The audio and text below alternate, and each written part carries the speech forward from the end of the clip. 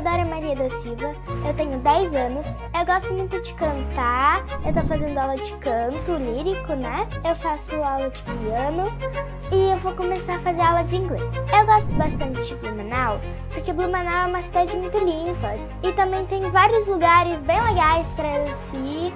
Tem o Parque Ramiro, lá a gente, eu passo tardes lá, é, andando de bicicleta, roller, patins, fazendo um piquenique, brincando no parquinho.